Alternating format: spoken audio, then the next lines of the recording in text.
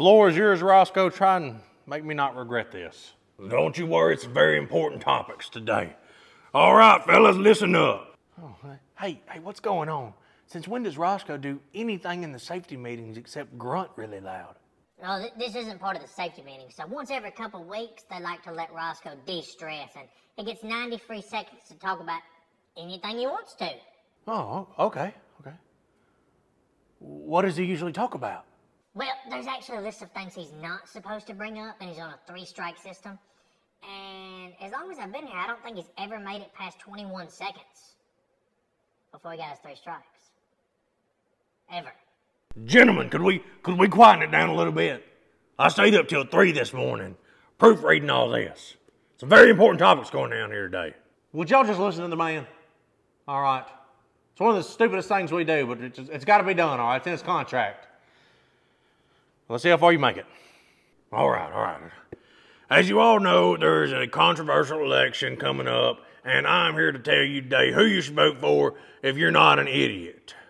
And there's strike one. Well, I'd like to start with the women that work here, uh, specifically to tell y'all congratulations on being able to vote. I was just told that that law has passed recently, and that y'all can vote. Big win for y'all.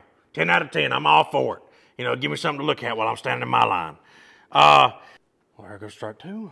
And, and I would just like to say, you know, I know some of you do have more than three baby daddies, and maybe, you know, picking the right choice isn't in y'all's forte. So just take that into consideration. And there's number three. Roscoe, hey, what's going on, my man? I'm, I'm actually going to hold on to this for you.